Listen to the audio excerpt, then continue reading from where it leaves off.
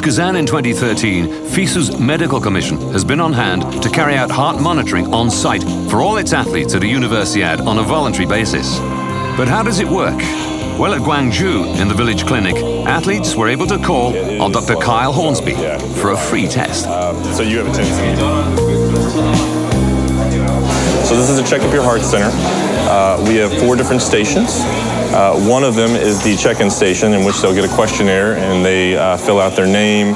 Uh, we fill out some of their basic information, give them an ID number. They'll answer yes or no to symptoms uh, that they may be having and also to whether or not they have any family history of cardiovascular disease. I think they're, they're trying to get a, a more broader spectrum of all the athletes' hearts. So when they um, some, when somebody does come in with a problem, they can they can diagnose that quicker and get better results. In Gwangju, over 2,000 athletes passed the test. We hope to uh, prevent sudden death in athletes. We think sudden death is not a common problem, and thank goodness it's not, but it's still the most common cause of death in a university athlete. We believe with an extensive evaluation, you will be able to detect those athletes that might have sudden death and, uh, and to be able to protect them. This is station number two, and we get height and wingspan and then they also do a weight with a body fat mass machine. Uh, it's basically called InBody that gives them a lot of information on BMI, basal metabolic rate, and we do check everyone's blood pressure and pulse.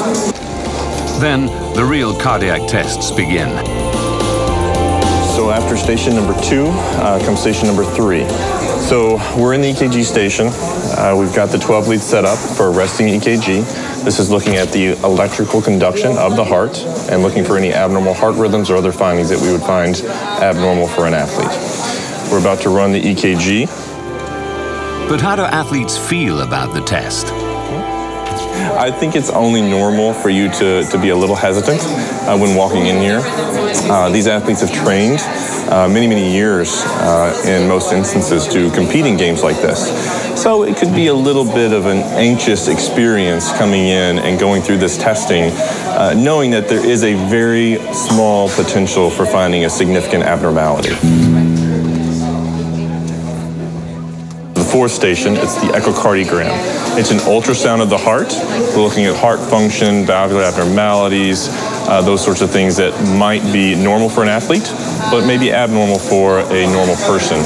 So we'll look at those ultrasound images to look into the heart, look at chamber sizes, function of the chambers, valve function, uh, etc., to make sure that his heart is okay to compete. For many athletes from developing countries, the program is an opportunity to have access to the only cardiac test of their lives.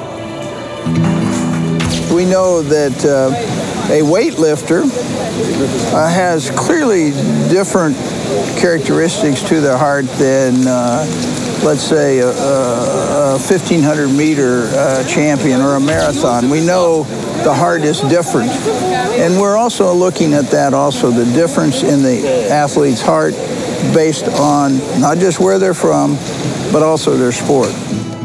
The results are usable in care centers all over the world.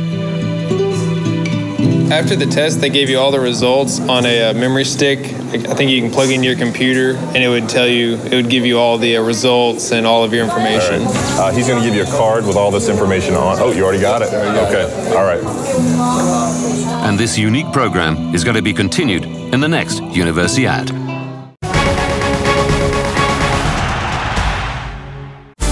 Today's stars, tomorrow's leaders.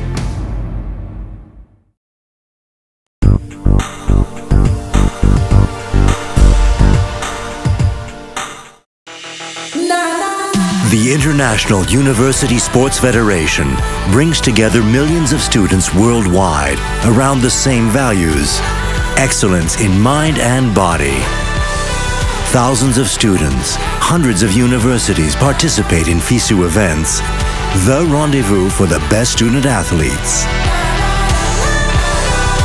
Today's stars, tomorrow's leaders.